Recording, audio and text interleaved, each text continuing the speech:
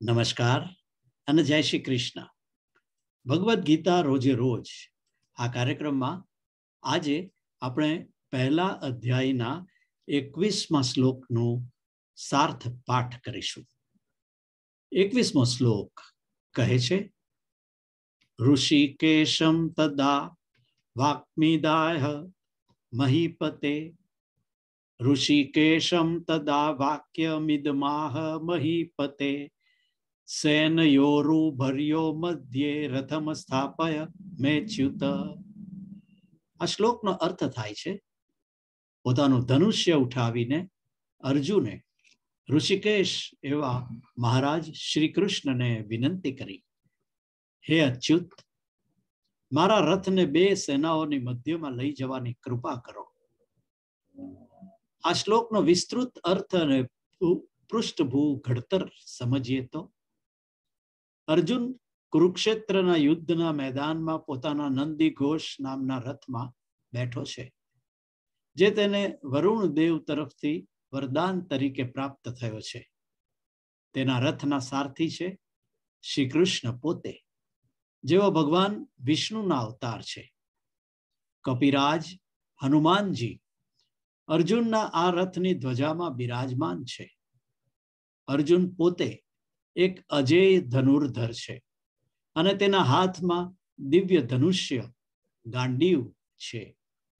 પરંતુ શંખનાદ પછી સીધો યુદ્ધ આરંભ ન કરતા તે સર્વે પ્રાણીઓની ઇન્દ્રિયોને નિયંત્રિત કરનાર જગત નિયંતાને પ્રાર્થના કરે છે કે તેઓ રથને બંને સેનાઓની વચ્ચે લઈ જઈ ઊભો કરે.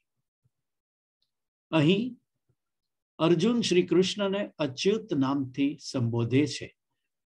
કારણ કે તેઓ યુદ્ધ ક્ષેત્રમાં ઉપસ્થિત હોવા છતાં પણ મનથી સ્થિર છે. તેઓ કોઈ પણ પક્ષમાં રહીને શસ્ત્રો ઉઠાવી રહ્યા નથી. બની શકે કે તનથી બહાદુર, પરંતુ મનથી રુજુ એવા શ્રી કૃષ્ણ, એવા અર્જુનને યુદ્ધ પહેલા પોતાના તમામ ભાઈઓ, પૂજનીય વડીલો, સગાવાલા, મિત્રોને એક સાથે જોવાની ઈચ્છા થઈ આવી હોય. તે પણ એક પાંડવ જ હતો, જેણે ક્યારેય પોતાના પરિવારની સાથે યુદ્ધ ઈચ્છ્યું નહોતું. આ શ્લોકમાંથી માનવ જીવનનું મહત્વ સમજીએ.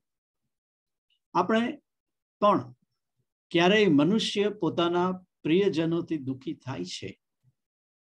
તેમના અન્યાયથી તેને ક્રોધ પણ આવે છે. પણ તે તેનો વેર લેવાનું વિચારતો નથી.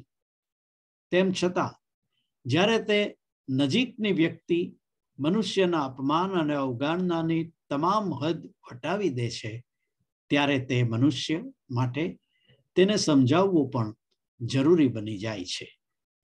આ પછી પણ તેનું રુજુતાપૂર્ણ મન આ વાતને ઉચિત તેને માનતું નથી.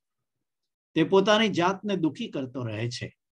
તે વિચારે છે કે આ વિચિત્ર સમય શાંતિપૂર્ણ રીતે પસાર થવો જોઈએ. લાગતું હશે કે આ કાયરતા છે. ખરું? ના. તે માત્ર શુદ્ધ મન છે. જે દુશ્મનને પણ માફ કરી શકે છે. તે તેના મિત્ર કે સ્વજનના વિશ્વાસઘાતથી અને વિશ્વાસઘાતી કૃત્ય પછી પણ તેની સાથે હાથ મિલાવી શકે છે. તે પોતાની વ્યક્તિઓ પાસેથી સમતા અને ન્યાયની માંગણી કરતા તેનું હૃદય કલ્પાંત કરે છે. આ સાથે આપણે શ્રીમદ ભગવદ્ ગીતાનો અર્જુન વિષાદ યોગ યાને પહેલા અધ્યાયનો એકવીસમો શ્લોક પૂરો કર્યો. તેનું લેખન અલ્પાબેન પુરોહિત વડોદરાથી. અને એની પ્રસ્તુતિ કરી મેં આપના મિત્ર નરેશ કાપડિયાએ. આવતીકાલે ફરીથી મળીશું ભગવદ્ ગીતા રોજે રોજના આ કાર્યક્રમમાં. જય શ્રી કૃષ્ણ.